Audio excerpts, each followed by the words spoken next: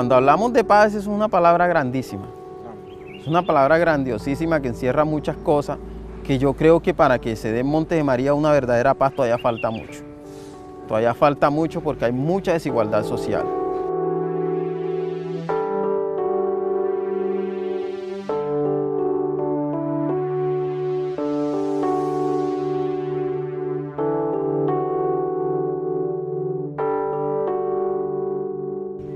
Desde que tengo conocimiento de que vivir conflicto ha sido muy duro en el tema de que se sentían solamente los enfrentamientos entre grupos militares, el ejército y las guerrillas, solamente uno quedaba a la casa de uno, quedaba entre medio de esos enfrentamientos, uno no tenía que salir para ninguna parte, sino esconderse ahí y a rogar por, su vida de que una bala o, o una granada no lo fuera a coger.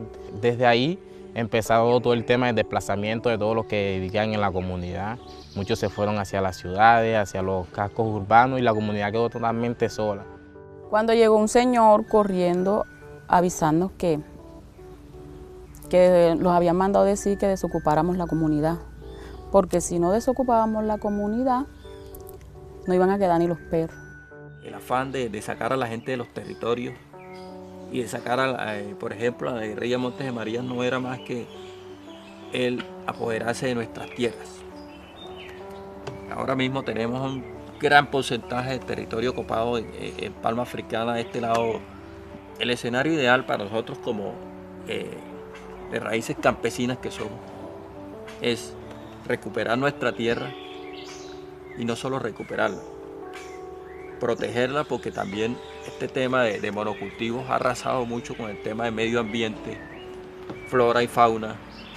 Eh, o sea, ha cambiado totalmente el uso y las costumbres del suelo. Eh, María la Baja es todavía, era y sigue siendo una despensa importante en la producción de alimentos. Eh, todas estas tierras que están en Palma eran tierras dedicadas a la producción de alimentos. Maíz, arroz, yuca, plátano, eh, mucha fruta. Eh, con el monocultivo eh, es un desierto verde, o sea, no, acepta otras plantas al lado, llegan, tumban todo y, y, meten solamente, siembran, cultivan solamente la palma. Eso pues bajó mucho la producción de alimentos, inclusive de leche. Un plátano que en María la Baja, cinco plátanos te costaban 500 pesos, 800 pesos, ahora solamente un plátano te puede costar 500 pesos donde mi papá una parcela y uno recogía 30 y 35 cajas de guayaba. Hoy en día se recogen 8 o 7 cajitas de guayaba, porque se han muerto los palos. Porque la plaga de la palma se viene a las demás, a los demás fincas. Ha hecho que muchos campesinos pues vendan la tierra. Muchos no vendieron porque quisieron vender, muchos los obligaron con la famosa frase, si tú no me vendes, me vende la viuda. Y trajo mucho desplazamiento montaron toda una estrategia, una estrategia, de, la estrategia que tuvieron de, intimidación por varios, eh, iban, ubicaban a la persona, estaba en un casco urbano, la persona pasando hambre, le decían, aquí tienes 20 millones de pesos. Una persona con 4 o 5 hijos en el pueblo, pasando hambre, y que nunca había contado 20 millones de pesos juntos, vendían. Entonces empezaban a comprar, pero había campesinos resistentes ¿Qué hacían con ese campesino resistente? Le empezaban a comprar alrededor y el campesino acá era muy solidario con el tema de la, lo que llamábamos servidumbre, que son los caminos por donde, donde uno pasa. Empezaban a cerrar esos caminos porque ya ellos habían comprado eso. Eh, resulta que el pozo, que era comunitario, donde todo el mundo iba a coger el agua para el sustento, ya no podían entrar porque eso era propiedad privada. Entonces le iban cortando el agua, la movilidad. Entonces lo confinaban, era una estrategia.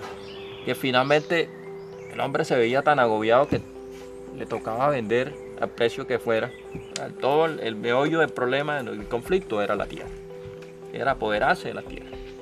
Toca entrar a, que el Estado le compre a esta gente tierra, que le compre esas tierras o que, o, que la ley le quite esas tierras y entre en un fondo de tierra a una bolsa de tierra para ser redistribuida entre el campesinado que no tiene tierra. Somos campesinos que salimos del machete a la cámara y de la cámara regresamos nuevamente al machete porque nuestras comunidades vivían en un olvido eh, desde hace mucho tiempo por parte del Estado, donde nos sentíamos invisibles, eh, no teníamos, nadie contaba lo que estaba pasando. Gracias a Dios el equipo de comunicación está haciendo trabajos propios, trabajos propios de contar la historia, de contar la problemática a través de diferentes documentales. De hecho, nosotros pensamos que la comunicación es una muy buena herramienta para hacer paz. El hecho de que nosotros estemos empezando a contar nuestras historias y estemos eh, siendo visibilizados, ya estamos construyendo paz. Eh, nosotros somos unos convencidos de que la paz no es firmar un proceso. La paz es algo que se construye en nuestros propios territorios.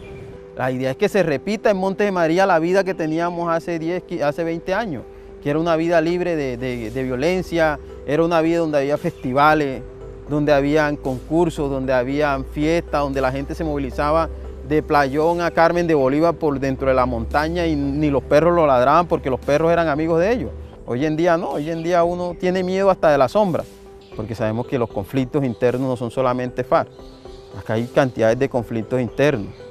Incluso nuestros compañeros que fueron a La Habana a, contar las problemáticas fueron amenazados apenas llegaron. O sea, los líderes comunitarios para, para muchas personas eran como una piedra en el zapato y la única forma de quitárselo era esa. Entonces todavía se viven como esos momentos de miedo, la gente no se, no, se, no, se ha generado como esa confianza entre nosotros como comunidad todavía.